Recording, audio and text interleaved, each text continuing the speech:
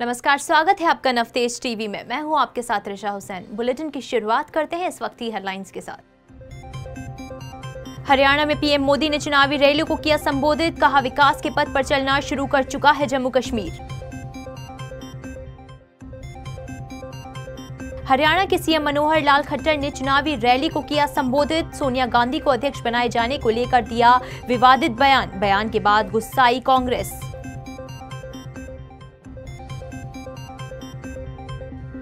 हरियाणा की नू में मोदी सरकार पर बरसे राहुल गांधी, कहा मोदी सरकार ने अर्थव्यवस्था की उड़ाई धज्जियाँ, रो रहे छोटे व्यापारी।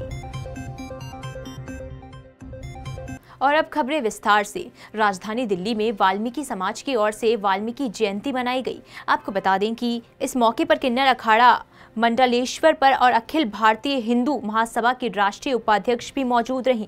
इस मौके पर रामायण की रचयिता और लव कुश को शिक्षा देने वाले महर्षि की जयंती पर व्याख्यान किया गया। हमें दुनिया को यही मैसेज देने चाहिए कि ये एकता में ही विजेता है। हमारे देश में जितना भी प्यार, प्रेम हो उतना कम है। मैं चाहती हूँ कि मैं आज इस मंच पे आई हूँ, मैं जात पात कभी नहीं मानती। और मैं यही चाहती हूँ कि सब मिलके एक रहें और हमारे देश में एकता हो। खबर बिजनौर से है, जहाँ हिमपुर दीपा में छह बदमाशों को पुलिस ने ग्रामीणों की मदद से धर दबोचा। आपको बता दें कि पूरा मामला बदमाश लूट की रकम का बंटवारा कर रहे थे। वहीं पुलिस ने आरोपियों ने नकली हथियार भी बरामद किए। ये बदमाश जनपद अलीगढ़ और अनूप शहर के बताए जा रहे हैं। गुजरात के जम्बूसर में शरद पूर्णिमा का पावन अवसर मनाया गया। जी हाँ आपको खबर गुजरात से बता रहे हैं, जहाँ पर जम्बूसर के भाड़ खेतर गाँव में शरद पूर्णिमा के पावन पर्व पर प्राण प्रतिष्ठा उत्सव मनाया गया। इस मौके पर खपर जोगड़ी माँ की मूर्ति की प्रतिष्ठा की गई तो वहीं इस मौके पर पूरे गाँव में माँ की भक्ति में लीन हो गया। यहाँ दिन भर विद्वान, पंडितों और माँ की पूजा की गई और शाम को पूरे के लिए महाप्रसादी का भी आयोजन किया गया। राजधानी दिल्ली में बीजेपी नेता आनंद साहू ने जनसंख्या नियंत्रण पर बात कही है। आपको बता दें कि साथ ही सरकार से कानून को जल्द लागू करने की मांग भी की गई तो वहीं रेल संबंधी अफवाहों से भी दूर रहने की अपील की गई है। बियॉन्ड पार्टी पॉलिटिक्स भारत के सभी जन जन के हित को ध्यान में रखते हुए मुझे लगता है बहुत जल्दी इस पर कानून बनना चाहिए और किसी भी कीमत पर, इसमें दो हम दो, हमारे दो इस प्रकार की एक आ, कानून जो है बाध्यता जो है सबके लिए बराबर लागू हो जाए ताकि देश की जो प्रगति है आज चाहे रोज़गार हो चाहे शिक्षा हो चाहे स्वास्थ्य हो चाहे किसान हो चाहे मजदूर हो किसी भी क्षेत्र में देखिए सभी जगह चुनौतियाँ हैं। क्यों? क्योंकि आज जनसंख्या जो है सबसे बड़ा घातक बन गया है हमारे विकास में। सूरत के सिल्क सिटी मार्केट में भीषण आग लग गई। आपको बता दें कि सूरत के सिल्क सिटी मार्केट में चार दुकानों में भीषण आग लग गई। भीषण आग के चलते आग की सूचना पर पहुँची दमकल की गाड़ियों ने मौके पर पहुंचकर आग पर काबू पा लिया। तो वहीं आगजनी में कोई जनहानि नहीं हुई। आपको बता दें ये करीब सुबह दस बजे की घटना है। खबर जम्मूसर से है जहाँ गांधी संकल्प यात्रा का आयोजन किया गया। जी हाँ आपको खबर जम्मूसर से बताई जा रही है, जहाँ पर गांधी संकल्प यात्रा का आयोजन किया गया। इस यात्रा की शुरुआत कारोली गाँव से की गई, जिसके ज़रिए पूरे देश के सभी सांसद अपने अपने क्षेत्र में गांधी जी के विचारों को जीवित कर रहे हैं। ये यात्रा नौ दिनों तक चलेगी तो वही यात्रा के दौरान भरूच सांसद मानसुख वसावा और भाजपा के महासचिव भरत सिंह परमार सहित कई राजनेता शामिल रहे। ગાંધી વિચારને જીવંત કરી રહ્યા છે, એનું ઋણ ચૂકવી રહ્યા છે, એના ભાગરૂપે આજે ભરૂચના લોકપ્રિય સાંસદ મનસુખભાઈ પણ જંબુસર કારેલી ખાતેથી આ યાત્રાનો પ્રારંભ કરશે. નવ દિવસ સુધી ગાંધીજીના વિચારો ગામે ગામ પહોંચે એની યોજના પણ ભારતીય જનતા પાર્ટી જિલ્લા ભાજપે બનાવી છે. ત્યારે હું મનસુખભાઈને ખૂબ ખૂબ શુભેચ્છા પાઠવું છું. કે ભરૂચ જિલ્લામાં આજે ગાંધીજીનું સ્મૃતિ જોઈને ખૂબ આનંદ થયો. જે ઓગણીસો ત્રીસમાં જે મકાનમાં રહ્યા હતા, એ હું તો માનું છું કે મંદિર છે. આજે પણ એના વાઇબ્રેશન છે. ત્યાં જઈને પૂર્ણ સંતોષ થયો. આ વાતો લોકો સુધી પહોંચે, ફરીથી ગાંધી વિચાર જીવંત બને, સ્વચ્છતા અભિયાન પ્રભાત ફેરી ગાંધીજીના ખાદી ઉપરના વિચારો, સ્વાવલંબી ઉપરના વિચારો એ ફરીથી જીવંત બને. એ જ આ યાત્રાને મને લાગે છે કે ફલશ્રુતિ રહેવાની છે. આ એકસો પચાસમી વર્ષની જન્મ જયંતિ ઉજવવાનો ભારતીય જનતા પાર્ટી અને તેમાં ખાસ કરીને દેશના પ્રધાનમંત્રી નરેન્દ્રભાઈ મોદીએ એક આહવાન કર્યું છે કે સમગ્ર દેશની અંદર તમામ લોકસભામાં ગાંધી સંકલ્પ યાત્રા નીકળે અને આના થકી ગાંધીજીના વિચારો જન જન સુધી પહોંચે. જે ગાંધીજીનું જે સ્વપ્નનું જે ભારત હતું, એ બનાવવા માટે દેશના પ્રધાનમંત્રી નરેન્દ્રભાઈ મોદીજી જ્યારે અનેક પ્રકારની ગરીબ ઉત્થાનની, ગ્રામોદયની યોજના લઈને ચાલે છે, રોજગારલક્ષી યોજના લઈને ચાલે છે. ગરીબમાં ગરીબ માણસને ઊંચાઈ સુધી પહોંચાડવા માટે એની અનેક પ્રકારની યોજના છે. ગાંધીજીના જે વિચારો હતા સ્વચ્છતાથી માંડીને, રોજગારીથી માંડીને, ખેડૂતોને એક સમૃદ્ધ રાષ્ટ્ર બને એના માટે જે ગાંધીજીનું જે સપનું હતું, એ સાચા અર્થમાં દેશના પ્રધાનમંત્રી નરેન્દ્રભાઈ મોદી સાકાર કરવા તરફ જઈ રહ્યા છે. सोमवार सुबह महिला एवं बाल विकास मंत्री ममता भूपेश ने जन सुनवाई की। आपको बता दें कि सुनवाई के दौरान बाहर से आए हुए लोगों की समस्याएँ सुनी। समस्याएँ सुनने के बाद भूपेश ने उनकी समस्याओं को निराकरण का हवाला भी दिया। वहीं भूपेश ने कहा कि जब हमारी सरकार बनी थी, तब जनमानस की भावनाओं को ध्यान में रखते हुए उनकी समस्याओं को सुने और उनकी उचित स्तर पर निराकरण करें। उम्मीद रहेगी कि हम जनता की आवाज़ बन पाए। कांग्रेस ने जो वादा किया था लोगों से गुड गवर्नेंस देने का, उसका हम प्रतिफल यहाँ पे प्रदेश कांग्रेस कमेटी के कार्यालय में दे पाएँ। और यहाँ पर हम लोग सबके लिए, आम जनता के लिए हमने ये जन सुनवाई रखी है। पार्टी पॉलिटिक्स से ऊपर उठ के हम यहाँ पे काम करना चाहते हैं और हमारा प्रयास रहेगा हम सभी को उचित निर्धारण कर पाए समस्या का। पीसीसी कार्यालय में चाकसू के प्रधानाचार्य के तबादले को लेकर छात्राओं द्वारा प्रदर्शन किया गया। आपको बता दें कि प्रदर्शन के दौरान विद्यालय की सभी छात्राएँ यहाँ मौजूद रहीं तो वहीं इस दौरान एक छात्रा की तबीयत बिगड़ गई और मौके पर ही छात्रा को अस्पताल में भर्ती कराया गया। छात्राओं और ग्रामवासियों का कहना है कि प्रधानाचार्य का तबादला नहीं होना चाहिए। इस बात की जानकारी सभी अधिकारियों को दी गई, लेकिन कोई सुनवाई नहीं हुई। पंद्रह दिन हो गए सर आज पंद्रह दिन से हम लोग यहाँ पे आए हिम्मत हार चुके, तब यहाँ पे आए कि कोई सुनने ही नहीं आता है, कोई सुनता ही नहीं है। हमारा खुद का जो विधायक है, वो सुनने के लिए तैयार नहीं है। वहाँ पे रोज चक्कर निकाल काटता तो रहता है, लेकिन बच्चों के पास एक दिन भी आके नहीं देखा उसने। एक बार भी पूछा नहीं कि क्या हो रहा है अपने गाँव में। उसको क्या पता नहीं होगा क्या, कि अपने गाँव में क्या चल रहा है। सुनते क्यों नहीं है? क्या न्यूज़ में यहाँ पे फेसबुक पे हर जगह फैली हुई है कि कोई कोई सुनता नहीं है? सबके बहरे हो गए। हमारे बच्चों की बच्चों की पढ़ाई का नुकसान को किसी को होश नहीं है? कि बच्चों की पढ़ाई का कितना नुकसान हो रहा है किसी के पास जवाब?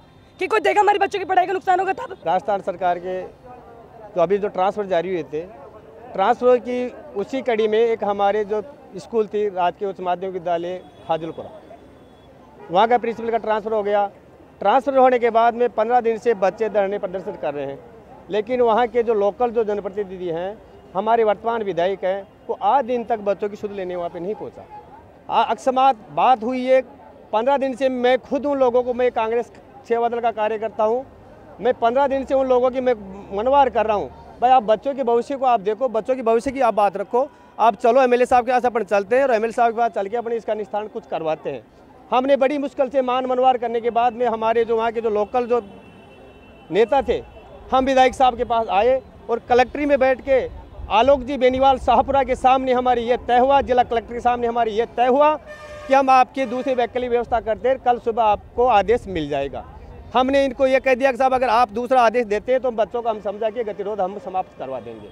दूसरे दिन जो ही हम जाते हैं, सर, हमें मैसेज हमने एमएलए साहब से पूछा, वहाँ के लोकल नेताओं से हमने पूछा कि, सर, क्या मैसेज आया? उन्होंने हमारा फ़ोन अटेंड आज दिन तक नहीं किया। यूपी के अफजलगढ़ के जिला अस्पताल के डॉक्टर्स हड़ताल पर बैठ गए।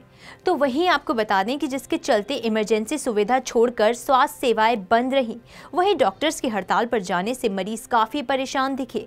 हड़ताल होने के कारण बिना दवाई लिए मरीजों का खाली हाथ भी लौटना पड़ा। वहीं यूपी के सीतापुर में अवैध तरीके से पटाखे बनाते समय धमाका हो गया। जी हाँ, इस धमाके से घर की दीवार के साथ ही छत गिर गई, जिसमें दो युवतियाँ बुरी तरह से घायल हो गईं। घटना ग्राम बकुआ की है और घर में धमाके के बाद इलाके में अफरा तफरी मच गई। सूचना पर पहुँची पुलिस ने ग्रामीणों की मदद से आग पर काबू पाया। वहीं एमपी के शिवपुरी में शिक्षा विभाग की पैंसठवीं हैंडबॉल प्रतियोगिता का आयोजन किया गया।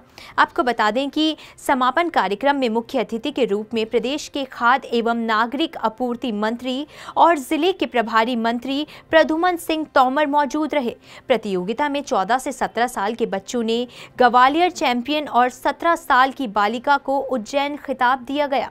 समापन के मौके पर खाद्य एवं नागरिक आपूर्ति मंत्री ने विजेताओं को पुरस्कार भी बांटे।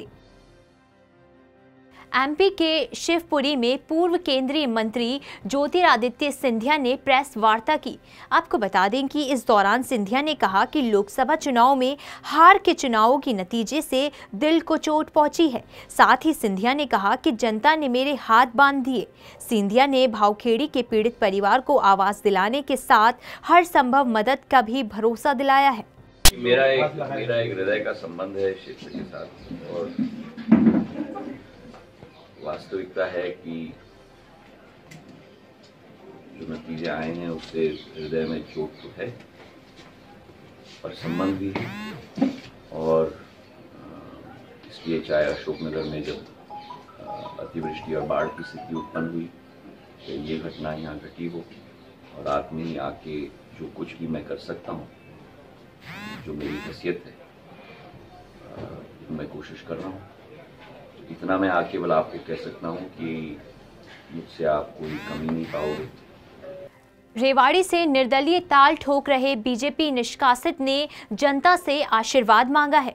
जी हाँ, आपको बता दें कि बीजेपी से निष्कासित रणधीर सिंह कापड़ीवास ने जनता से जीत का आशीर्वाद मांगा। इस दौरान रणधीर सिंह ने कहा कि सांसद राव इंद्रजीत ने अपने स्वार्थ के चलते एक पोस्टर बाई को बीजेपी की टिकट दिला दी। साथ ही इन्होंने कहा कि राव इंद्रजीत ने जनता के साथ बगावत की है। उसका परिणाम उनको भुगतना पड़ेगा। साथ ही उन्होंने जनता से अपील करते हुए कहा कि ये तो वक्त ही बताएगा कि दिवाली पर किसका दिवाला निकलता है। नवतेज टीवी के संवाददाता देवेंद्र कुमार ने खास बातचीत की नगर अध्यक्ष अनुज मिश्रा से। नमस्कार दोस्तों, मैं हूँ देवेंद्र कुमार। आप देख रहे हैं नवतेज टीवी। नवतेज टीवी के प्रोग्राम खास मुलाकात में आपका स्वागत है।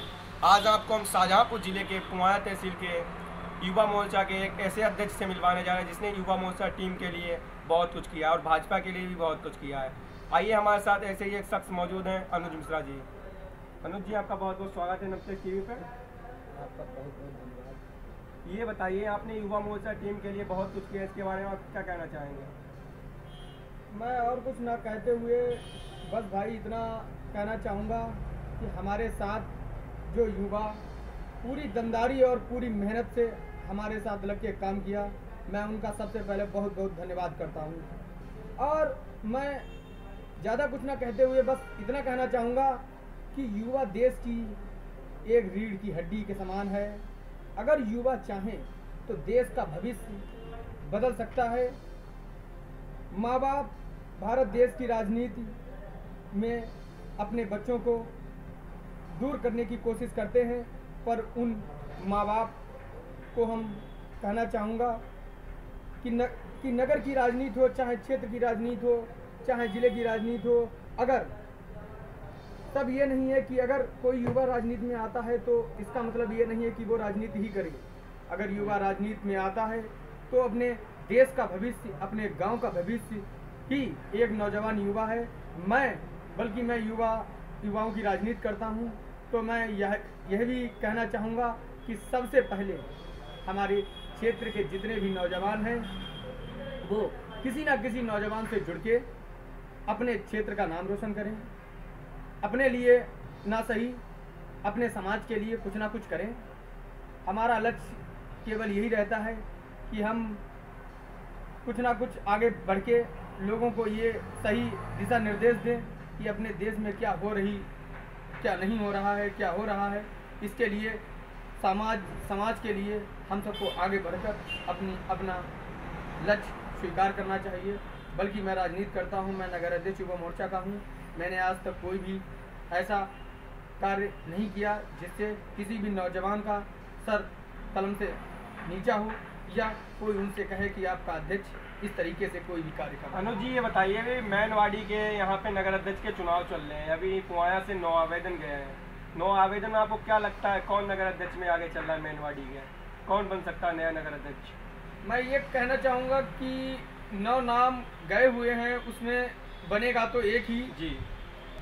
पर मैं मैंने सोचा मैं वहाँ बैठा हुआ था तो मैंने सोचा कि ये आवेदन ना जाएँ बल्कि यहाँ पुवाई में ही किसी एक को नियुक्त कर दिया जाए जिससे थोड़ा ठीक रहता है कि जब सब लोग सहमत होते हैं। अच्छा ज़िले में नाम गए हुए हैं, ज़िले से बन के तो एक ही आएगा, पर मैं ये कहना चाहता हूँ कि नौ में मैं नाम नहीं लेना चाहूँगा, कि मैं इतना ज़रूर कहना चाहूँगा कि नगर अध्यक्ष उसी को बनाया जाए, जो नगर अध्यक्ष के काबिल हो। नवतेज टीवी चैनल से बढ़िया। किसी ने क्षेत्र में नाम रोशन नहीं किया, जब से आप जैसा नौजवान भाई इस चैनल में आया है। इस कुमाएँ के आस पड़ोस क्षेत्र में आपका काफ़ी नाम रोशन है और हमारे साथ दो से तीन सौ नौजवान कार्यकर्ता है जो हर समय वो, आ, वो अपने अपने क्षेत्र में हमारे पास भी फ़ोन आते हैं कभी कि आपके कुमाएँ से नवतेज टीवी चैनल के भाई देवेंद्र जी आए हुए हैं जिनका क्षेत्र में बहुत नाम है।